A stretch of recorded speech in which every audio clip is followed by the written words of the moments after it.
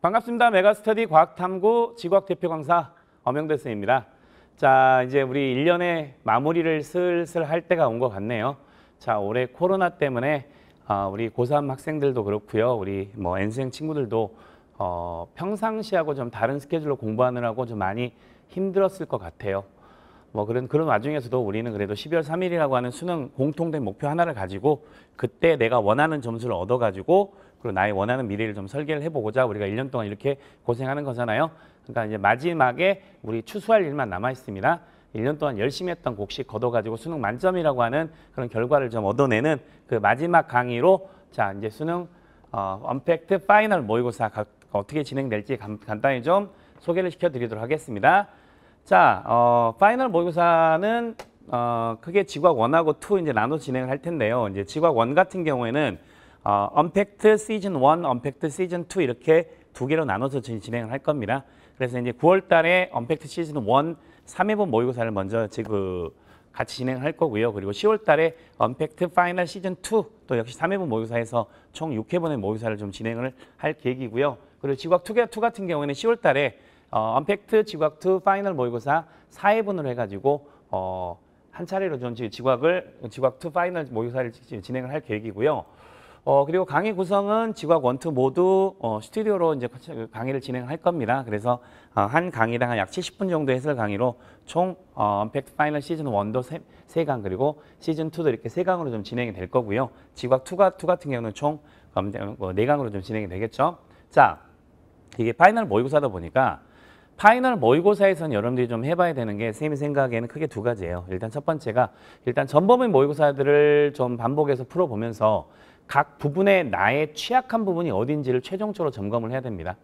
어차피 어, 수능이라고 하는 거는요. 뭐 이걸 뭐 꼭 싸움으로 비유하긴 뭐하지만은 수능 시험 문제를 내는 평가원이 있어요. 그 평가원에서 여러분들을 공격하려고 수능 문제를 만들어서 공격을 하는 거죠. 그걸 여러분들은 방어해서 수능 만점이라고 하는 그 결과를 승리를 얻어내야 되는 거야. 그럴 때 나의 강한 부분은 강한 대로 놔두고요.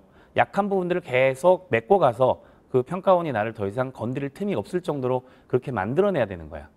그래서 여러분들이 평소에 이제 틀리지 않는 부분들은 그냥 틀리지 않도록 개념을 쭉 유지를 해야 되는데 사실은 공부를 하다 보면은 내가 어떤 부분을 잘 몰라서 틀리는지 그것 자체를 모르는 경우가 많아요. 근데 그게 수능 전까지 발견이 되고 아 이걸 내가 틀리지 않도록 개념을 알고 어떤 부분을 내가 몰라서 틀렸는지 확인을 해야 되는 거지. 그 마지막 최종 점검 단계가 이제 final 모의고사라고 생각하면 됩니다. 그래서 전범위 모의고사 있고 그리고 난이도 자체도 실제 수능에서 출제되는 난이도하고 거의 비슷하게 지금 모의고사를 출제를 해서 여러분들하고 같이 강의를 진행을 할 겁니다. 그러니까 최종적으로 내가 어, 취약한 부분들을 좀 정리하는 단계라고 생각을 하시고요. 그리고 이제 시험장에서 두 번째가 아, 내가 평소에 잘 못 보던 유형들을 그냥 시험장 안에서 한두 문제, 수 문제가 다 그런 유형은 아니죠.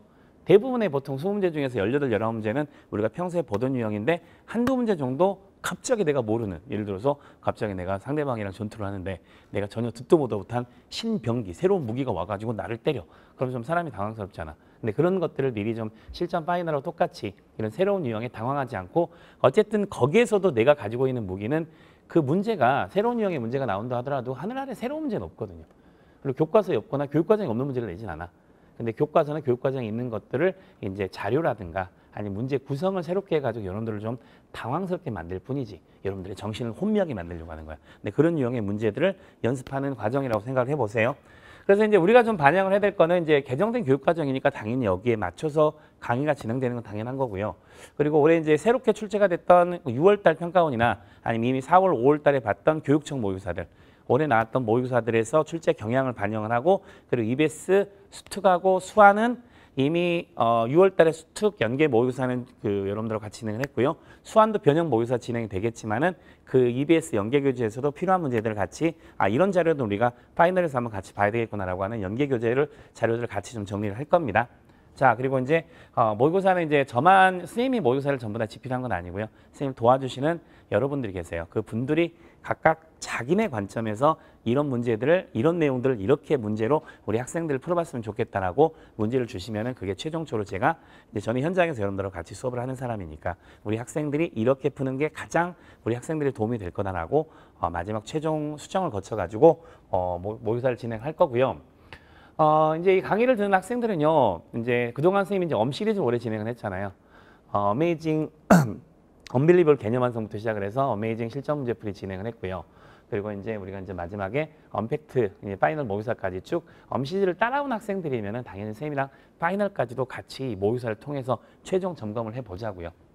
그리고 이제 선생님 수업을 그동안 안 들었던 학생이라 하더라도 이제 실전 모의고사 가지고 훈련을 한번 해보고 싶은 학생들 역시 쌤이랑 요 모의사 강의를 통해 가지고 최종 점검 하- 한번 해보시고요. 그리고 앞에서 얘기했던 것처럼 고난도 문제라든가 아니면 새로운 유형의 문제들 수능 시험장에 맞닥뜨렸을 때 내가 좀 이런 그 신유형에 당황하지 않고 이런 것들을 극복할 수 있는 연습을 해보고 싶은 학생들 마지막으로 쌤이랑 같이 한번 언팩트 파이널에서 정말 언팩트 있게 어, 우리 한번 최종 정리를 좀 해보도록 하자고요. 그래서 결국은 어, 우리의 모든 목적은요 1등급하고 1등급 기본이긴 하지만 결국은 만점을 가자는 얘기죠. 우리 지학 one하고 2에서 1등급과 만점을 목표로 해가지고 여러분들이 우리 같이 어, 노력해가지고 마지막을 좀 깔끔하게 정리를 해보자고 하는 거지. 그리고 이제 수업 진행할 때는요, 여러분들 음, 현재, 현재 현재 선생님이 현장에서 진행하고 있는 여러 가지 모의고사 마지막 final 수업도 마찬가지인데 현장에서도 우리 학생들이 직접 와가지고 실전 수능하고 똑같이 30분 시간을 counting을 하면서 시험을 실시를 하고요. 그리고 나서 그 선생님 해설을 진행을 합니다. 그러니까 이것도 여러분들이 이 강의를 들을 때는요. 어, 이것도 일주일에 딱 시간을 좀 정해놓으세요. 예를 들어서 무슨 요일 몇 시에는 엄영대 선생님 final 모의고사 1회분을 풀겠다. 그리고 강의를 듣겠다. 그리고 중요한 건 강의도 반드시 같이 들으셔야 됩니다. 알겠어요? 그래서 강의 듣기 전에 시계 counting을 딱 해가지고 정확하게 30분을 딱 시작 30분을 잠 재가지고 실전하고 똑같이 자 초벌로 문제 풀고요. 검토하고요. 그리고 모의고사 오멸 답안지도 같이 동봉을 해드릴 겁니다. 오멸 답안지 체킹 체크 마킹 해가지고 마킹하는 것까지 30분 안에 실전하고 똑같이 하세요. 그리고 나서 마킹한 답안지 가지고 채점을 하시기 바랍니다. 왜냐하면 이렇게 하는데도 마킹 실수하는 친구들 남아요. 그러니까 그런 것까지도 같이 마지막으로 연습을 해보자고. 그러니까 실전하고 똑같이 정, 그 시험을 보시고요. 그리고 나서 이제 쌤 해설 강의 이제 진행할 때 이제 마지막 최종적인 거잖아. 대부분 이제 지금 정도의 우리 학생들이라고 하면은 선생님이 이 문제를 출제했을 때 아, 이렇게 접근을 해서 이렇게 문제를 풀었으면 좋겠다라고 하는 선생님이 원하는 문제풀이 접근 방식으로 대부분 풀 겁니다.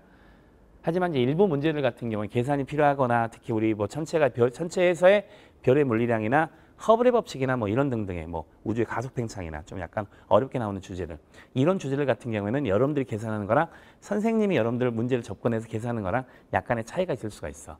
그 미묘한 차이도 시간 몇십 초를 전략을 해가지고 여러분들 30분 안에 다른 한 문제를 훨씬 더 검토할 수 있는 시간을 가질 수가 있어요. 그러니까 쌤이 문제를 어떻게 접근하는지 쌤이 해설 강의 꼼꼼히 확인하시고 문제 풀면서 개념도 같이 정리를 해드리기 때문에 그 개념 정리된 부분들도 꼭 여러분들 좀 확인을 좀 하시기 바랍니다. 아시겠죠? 자, 그래서 올해 1년 동안 쌤이 주구장창하게 말씀드렸지만은 이 수능 지학은 엄영대만 믿고 오시면은 여러분 수능 1등급뿐만 아니라 만점까지 확실히 매조지한다고 하죠. 마지막 마무리를 좀 해드리는 엄팩트 final 모의고사 수업이 될 겁니다. 자, 아무튼 뭐 미리 얘기하지만 여러분들 수능 1등급 만점 미리 축하드리고요. 자, 우리 그 수능 1등급이나 만점을 이 엄팩트 final 모의고사를 통해서 마무리 정리 잘 해가지고 우리 꼭 원하는 대학 가도록 합시다. 자, 그러면 본강에서 만나보도록 하겠습니다.